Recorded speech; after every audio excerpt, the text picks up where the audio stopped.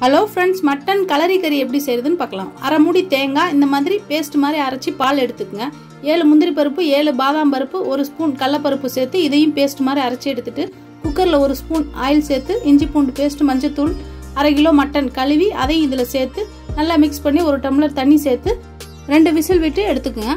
ஒரு கடாயில் ஒரு ஸ்பூன் நெய் ரெண்டு ஸ்பூன் ஆயில் சேர்த்து ரெண்டு பட்டை நாலு ஏலக்காய் ரெண்டு கிராம் சேர்த்து வெங்காயம் ரெண்டு வெங்காயம் கட் பண்ணி இதை சேர்த்து ரெண்டு ஸ்பூன் இஞ்சி பூண்டு பேஸ்ட் சேர்த்து நல்லா மிக்ஸ் பண்ணி தேவையான அளவு உப்பு சேர்த்துக்குங்க.